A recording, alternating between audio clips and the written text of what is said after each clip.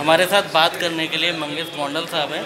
सबसे बड़ी बात इनकी जो तारीफ़ है कि ये जो very good dancer with choreographer और मंगेश भाई, एक बात मैं जानना चाहूँगा, अभी आपका ये अवार्ड फ़ंक्शन हुआ, इसमें आपने डांस परफॉर्म किया।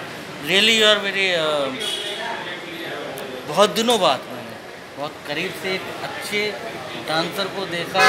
मतलब डांस तो हर कोई कर रहा है डांस सीख रहा है कुछ कर रहा है लेकिन जो एक डांस की परपक्वता जिसे बोलते हैं।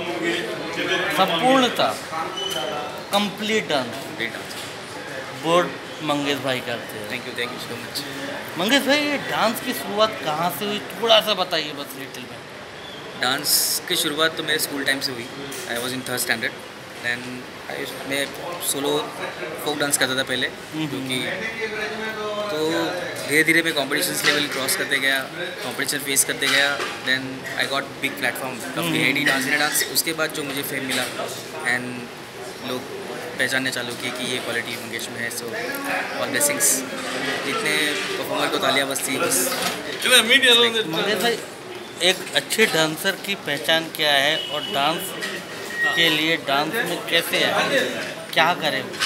प्रैक्टिस करें अच्छा गुरु सर्च करें, किस तरीके से? प्रैक्टिस बहुत इंपॉर्टेंट डांस के लिए। बस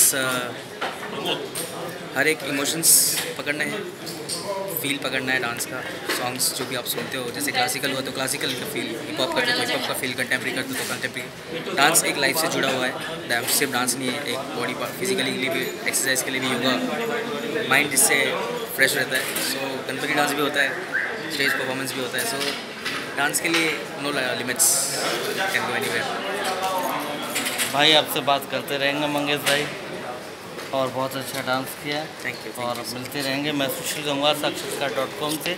मंगेश भाई आपने अपना समय दिया इसके लिए शुक्रिया।